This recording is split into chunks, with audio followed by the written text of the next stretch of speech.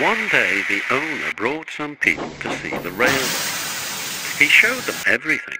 They travelled in the trains and looked at stations and bridges and coaches. Yes, they would say thoughtfully, we'll take this, or no, we won't take that.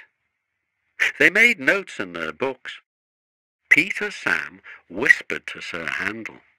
Men came and did that on our old line. And then, said Sir Handel, soon afterwards it was, it was sold, finished Peter Sam mournfully. Peter Sam didn't sing any more. He wanted to cry. The other engines were sad too. What's the matter with you all? His driver asked him one day. You look like dying ducks. We don't want to be sold, said Peter Sam miserably. Sold? The driver was surprised. Who to?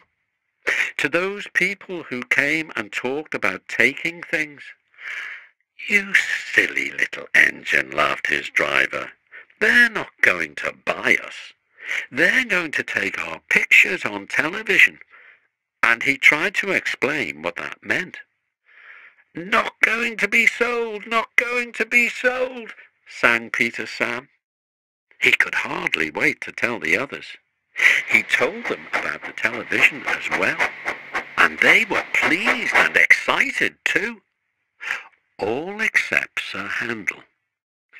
I don't hold with it, he grumbled. Vulgar, I call it. Fancy traipsing about making an exhibition of yourselves. I won't do it, I tell you. Telly something, indeed. Just let the thin controller come here. I'll tell him something. Skarloey, he said nothing. He just winked at Peter Sam.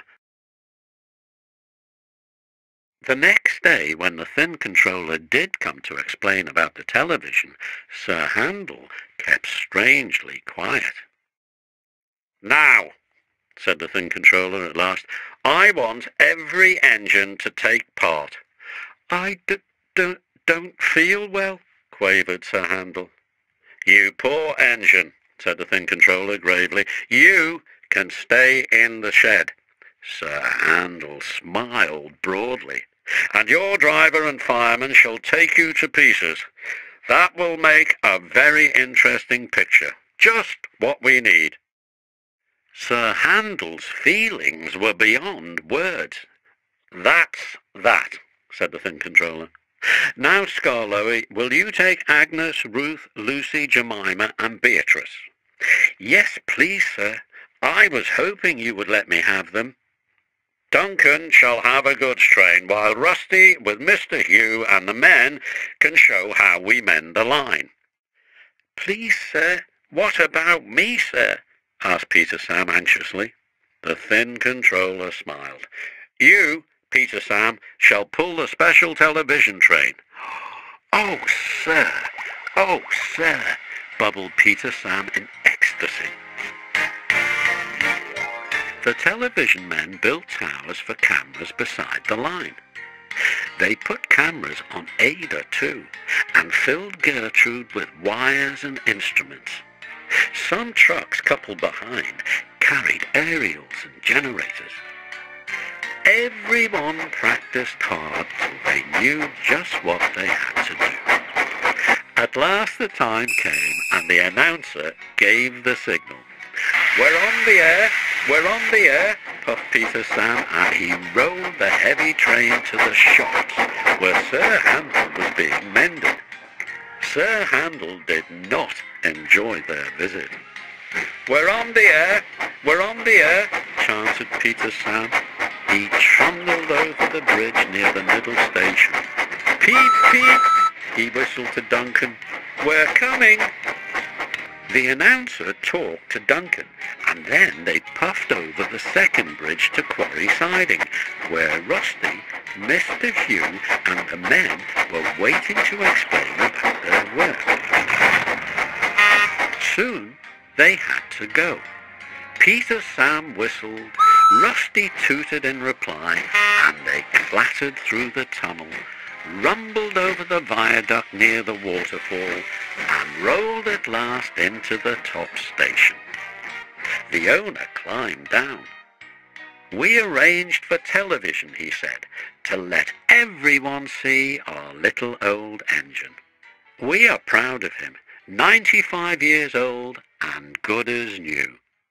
There's nothing like him anywhere. Three cheers for Skarloey. Peep, peep, peep, whistled Peter Sam, and everybody joined in.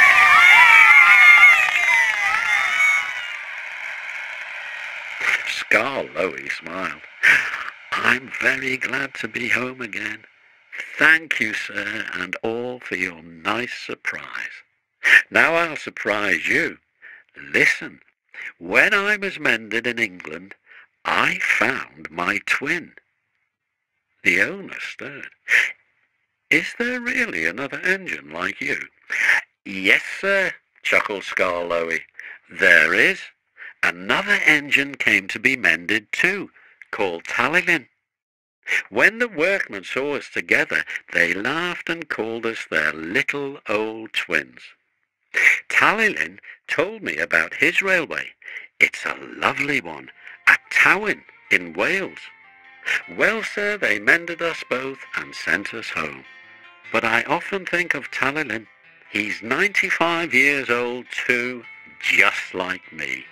Please go to see him, all of you, and wish him dry rails and good running from Skarloey, his little old twin.